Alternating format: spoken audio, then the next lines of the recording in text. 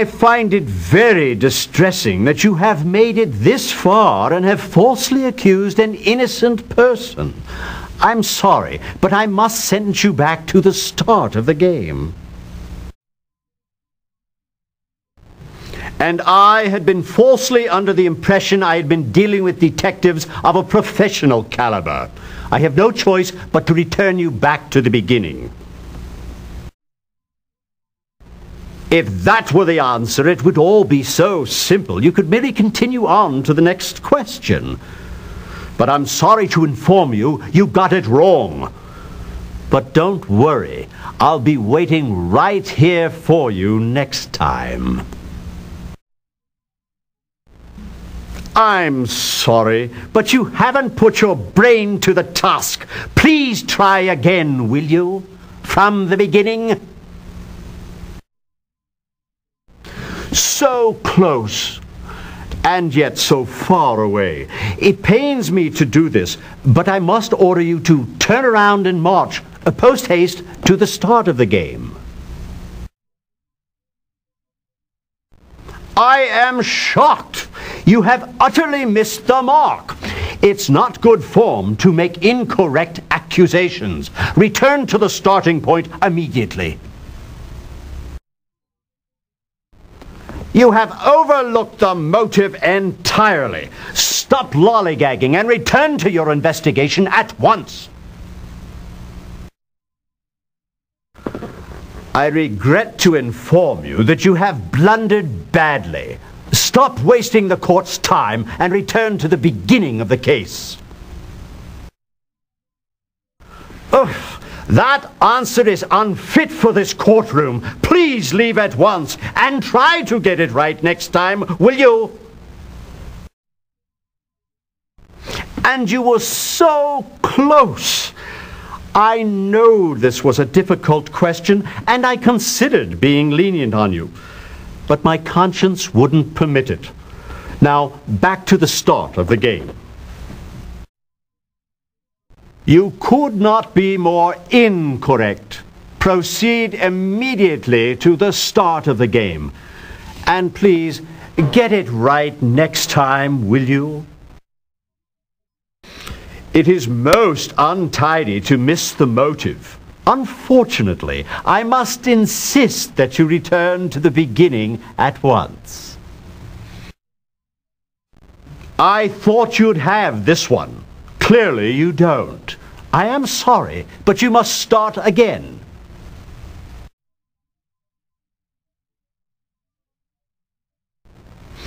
That wasn't the motive at all. Leave this courtroom at once and head straight for the start of the game. It pains me to tell you this, but that is not right. I'm afraid I must sentence you back to the start of this whole investigation. And I was praying you would respond correctly. Return to the beginning of the game, and next time, please try to get it right. No, no, no, that is absolutely incorrect. Back to the start immediately, if not sooner. Clearly, you have overlooked a key element in your investigation. Return to the start at once. And you were so close, yet so far away. I have half a mind to grant you a pardon, but my conscience won't permit it. Back to the beginning of the game. So sorry. You nearly had it. I loathe to do this to you, but I must sentence you back to the start of the game. So sorry. Excellent job on a most difficult case. If we had been doing our best, we could have solved this one in less points, but we're not too far off, are we?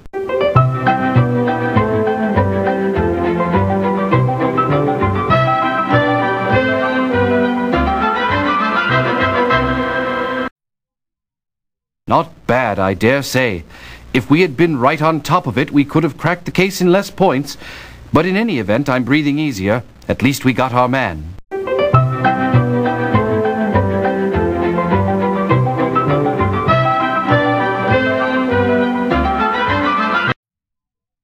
We must be slipping, my dear Holmes.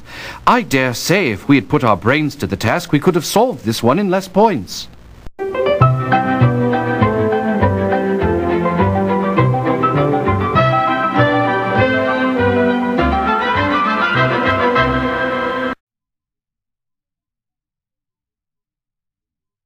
My word, dear Holmes, perhaps we are in the wrong business altogether.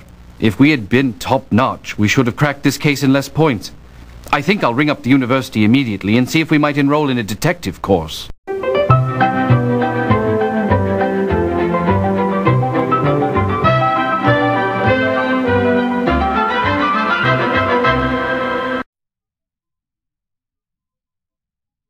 Well, Holmes, I did speak to the gentleman, but he was baffled as to why I had come. It seems as though he had absolutely no information pertaining to this case.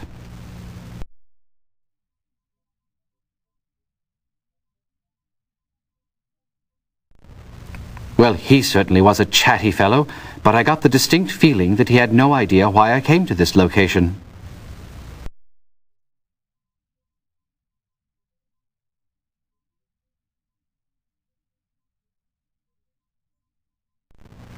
I think that someone has led us down the wrong path altogether. This woman certainly had no information to help our investigation.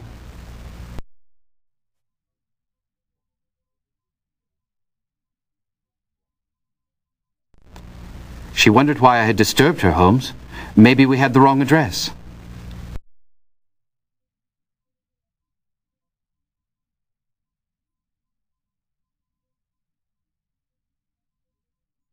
Sorry, Holmes. No information here. Well, let's not dawdle, Watson. There's work to be done.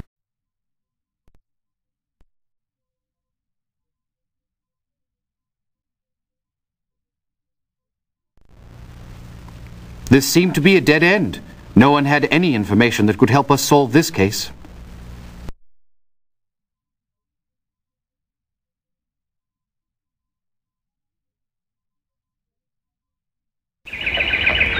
Oh, look. There is a note on the door that says that they will be out all afternoon. It appears we have wasted our time. Excellent deduction, Watson. You're finally learning.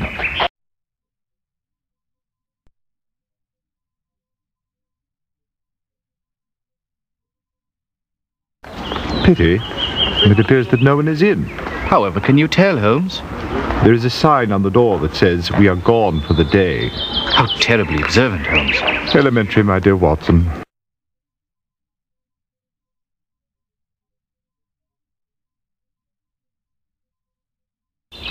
All this way and not a clue to help us solve this case. How terribly disappointing.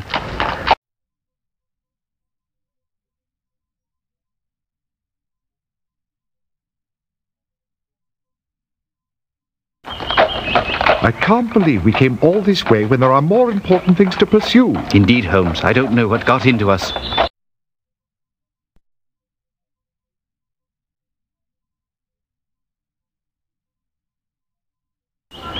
I've rung the bell a half dozen times and no one has come to the door. Really, Watson? Next time I would appreciate it if you would thoroughly research your leads before you ask me to come along.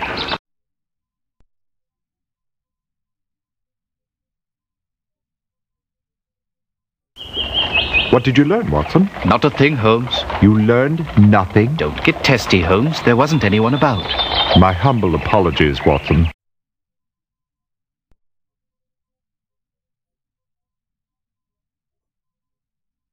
Appears that they've just left. There are fresh footsteps retreating from the front door. But look, Holmes, there are also some coming towards the door. Terribly observant, Watson. However, the prints you are looking at belong to us.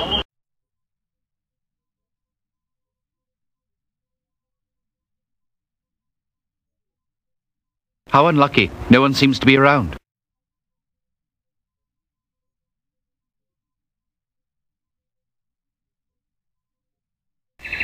This appears to have been a royal waste of time. Why is that, Holmes? There's not a soul in sight.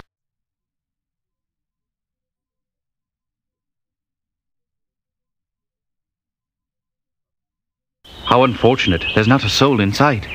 Pity.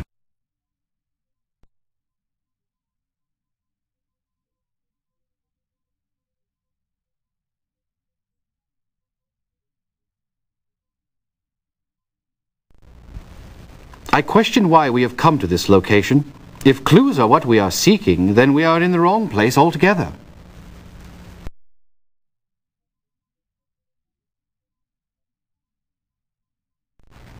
Well, there was no one in the entire establishment that could shed any light on this investigation.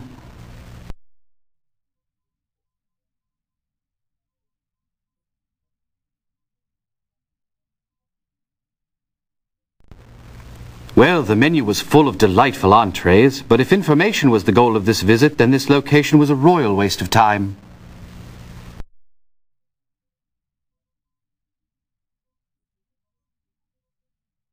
They had absolutely no information pertaining to this case. I thought not, Watson. It appears that we've wasted our time.